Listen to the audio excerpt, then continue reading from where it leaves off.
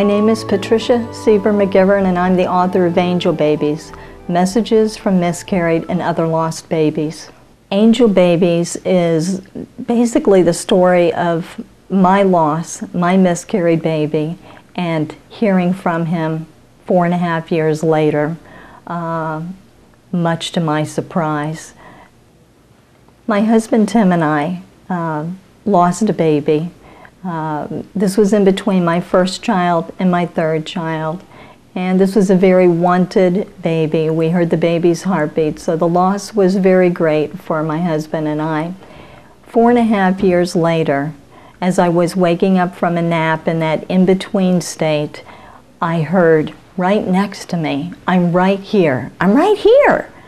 And my eyes popped open and I realized I was alone in the room. I thought it was my youngest daughter, Megan, who was napping upstairs. So I called out to her, you know, come to mommy, and my bedroom door was closed, and there was no movement. So I went out looking for her, and she wasn't there. And I, you know how you're trying to figure out, like, where did she go? And an answer came to me in my mind, for lack of another way to explain it that just said, You will find Megan asleep upstairs. And I thought, How can that be? The voice was right next to me. I couldn't understand how it could be outside the room, let alone upstairs. So I ran upstairs, and sure enough, she was asleep. When I saw her sleeping, I couldn't make sense of it. The TV wasn't on, the radio wasn't on, there were no neighbors. The voice was clear and insistent and emphatic I'm right here, I'm right here. And I was just standing there trying to make sense of it, and I thought to myself, well, if it wasn't Megan, what did I hear? And an answer came, it's the baby you lost. And with that, I began reeling and thinking about the baby that I had miscarried four and a half years later, earlier, I should say.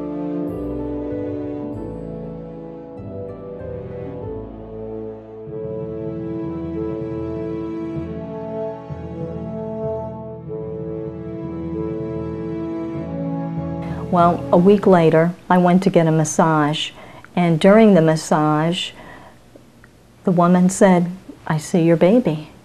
And from there, it began a discussion of male or female. What does it turned out he looked like?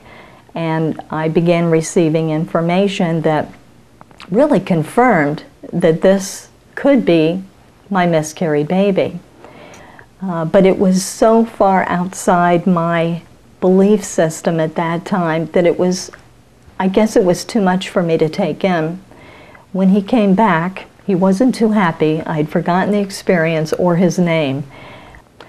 And he told me that my life's mission was to write a book titled Angel Babies to help heal the mommies who've lost their babies. And my thought was, wrong mommy, wrong life mission. I wasn't a writer, and I didn't know what he expected me to say. What did I know about babies in heaven? I expected people not to believe me, and I would tell very few people about my experiences because they were so personal and I didn't want to be judged by them. I was I didn't know how to go about beginning to write the book and someone just said simply just start talking about your experiences. And as I did I realized I have a lot of stories to tell about how Dylan connected with me. And I knew I couldn't be the only one having these experiences.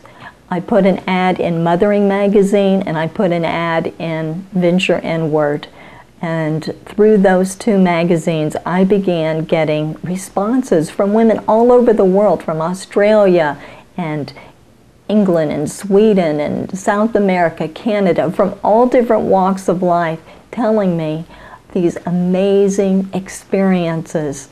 I don't even want to use the word stories.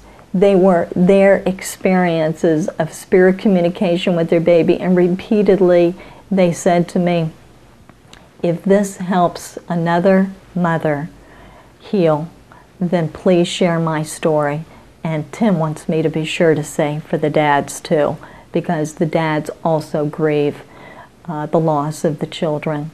what ended up happening was that their experiences validated my experiences.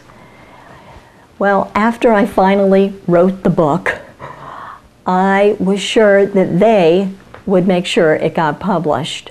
And so I went off to the book expo with a friend of mine, sure that I would be discovered, and uh, very surprised when I wasn't. One night, I didn't know what else to do. And I went out on my back porch and I looked up at the night sky that I love so much and just said, God, you know, if I'm supposed to self publish, then you better show me a sign, uh, like a shooting star.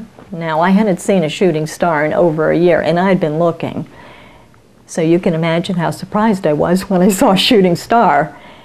And the doubter in me, which you'll pick up in the book a lot, that always needs that proof, said, I'm really sorry, God, but I'm going to need another one just to be sure I didn't make up the first one. And so I looked up, and sure enough, there was a second shooting star. So now I have begun to give talks to small groups, to large groups about spirit communication. The world is ready now. Maybe that's why it took so long for me to get this book out, that it wasn't ready, I wasn't ready, but I think people want to know about this information.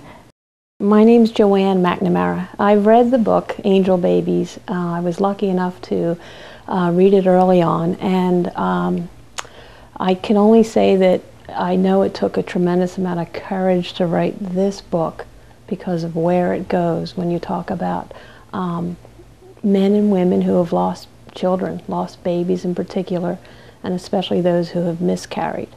Um, I experienced miscarriage myself and I lost a baby.